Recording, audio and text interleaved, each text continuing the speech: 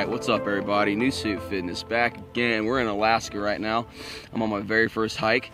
Uh, decided to take a break and have a cool little backdrop. This is literal ice, so it's pretty cool. Um, just want to do a rule to tailor by today. Uh, we're going to talk about being your own competition. And again, it's a very important rule. All rules are. Um, but this one is mainly about finding a positive way to get yourself either into a gym or into the lifestyle that you actually want, right? So a lot of people are driven by jealousy, uh, by bad motives that are unhealthy, right? Um, a lot of people are gifted, and those gifted people will succeed, and then the people who watch them find, you know, jealousy or resentment towards them, and maybe that pushes them to do something negative towards their own self. Um, what I want to talk about is just finding the right motive, the right drive to getting you to where you want to go in a healthy manner. And that's what be, being your own competition is about. Um, you know, for me, it's fighting the antagonist within, which I've talked about before. So you're your only competition. You're the one who can tell you not to do something. You're the one who slows yourself down. You're the one who holds yourself back.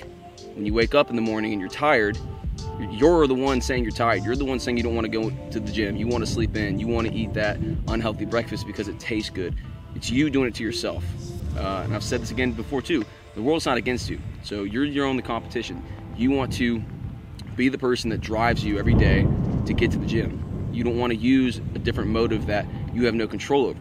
You don't have control over the fact that this person who was born with superior genetics just happens to be able to burn metabolism at a five times faster rate than you, doesn't have to work as hard as you, doesn't mean they don't work hard, but they just, it's a gift and you can't, you know, resent them for that. You can't resent yourself for not having that either. So the main focus is to just wake up every morning, understand that you are the only person that controls what you do. You, when you go to the gym, you know your limits. You know where you need to hold back. You know you, where you need to regress and then eventually start to, to uh, progress. So, I mean, it's time to realize that you might not be the most gifted person, but you're still you. You're still the person that has to overcome your own goals. No one's going to do it for you. And so when you realize and you take a step back, and I mean, I have to do this every day too. You know, I'm not, again, I'm, I'm never saying that I'm someone who's figured it all out these are just lessons that I've learned through my journey, and I still have to apply them day in and day out if I actually want to succeed. So I have to remind myself that I'm my own worst enemy. I'm the one who holds myself back. When I'm afraid to take a leap of faith when it comes to, you know, going to a job interview or talking to a girl or doing whatever, it's me holding myself back. It's my antagonist saying that I can't do it. It's my antagonist telling me that I'm not good enough. And so you want to just realize that that person is the only thing holding you back. It's you. And when you realize that, I think things come a lot easier um, and it comes in a lot healthier fashion. You don't want to, again, resent somebody else for being better or being stronger or whatever it may be because you can get there too. It's just going to take a little bit more effort. And that's okay. Part of that effort is what drives you to become the better person. You learning those lessons through those trials, overcoming those situations. That's what gives you grit. It's what gives you color, and it's what makes you you. So I just want to stress: be your own competition. Don't rely on somebody else. Don't put your burdens onto somebody else. Try to just take it on yourself. I mean, obviously you need help in some things. I'm not telling you to take on life on, on your own.